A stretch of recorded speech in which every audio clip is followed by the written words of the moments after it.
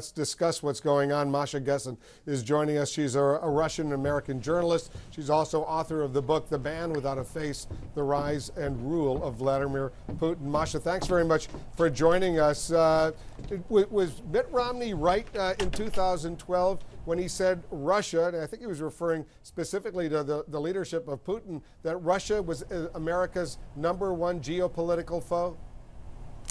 I don't know if he was right about that, but I certainly think that uh, President Obama has probably gone too easy on Putin. And part of what we're seeing now is uh, not just the United States, but the West's failure to respond to Putin's systematic violations of international law, which didn't begin last week. So what, what, what, what should the U.S., from your perspective, do that would have credibility with Putin? Well, at this point, it's very difficult to give any kind of advice because at this point, it seems to me that there's nothing that can work strategically. Economic sanctions will uh, actually necessitate greater mobilization in Russia and will aid the war effort.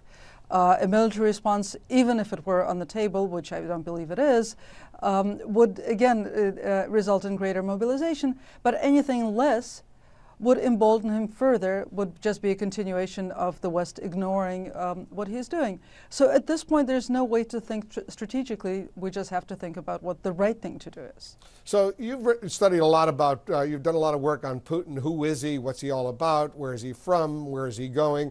We heard the Secretary of State, Madeleine Albright, on CNN's New Day yesterday say maybe he's delusional right now. Do you believe this guy is delusional?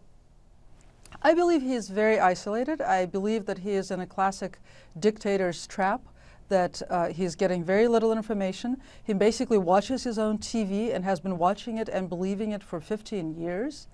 Uh, so I don't know if I would call it a delusion, but he certainly has a very different view of the world than you and I do because he does have these lengthy phone conversations, 90 minutes over the weekend with the President of the United States. They went back and forth. Angela Merkel heard about that call. She said maybe he's living in another world. Others who know him well, who have worked with him, say he's by no means delusional. He's very intelligent. He's got his mission. He's a Russian patriot, a nationalist. He's doing what he believes is best for Russia.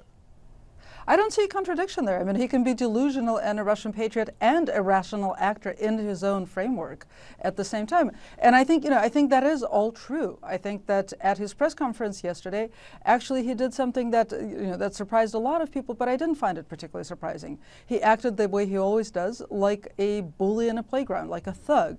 He kept saying, you know, that that's not me. I didn't take that. That um, that was that other guy. And um, and it, it, it, wasn't bizarre. It only seems bizarre if you expect him to, to, to, to act on the basis of, of val uh, values that are shared in this country. Uh, yes, he does believe that he has a right to go into the Crimea.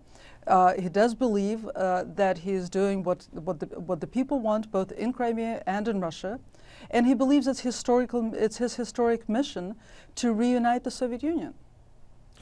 Masha Gessen, uh, the author of Man Without a Face, The Unlikely Rise of Vladimir Putin. Uh, Masha, thanks very much for joining us. Thank you. My uh, next guest had an up close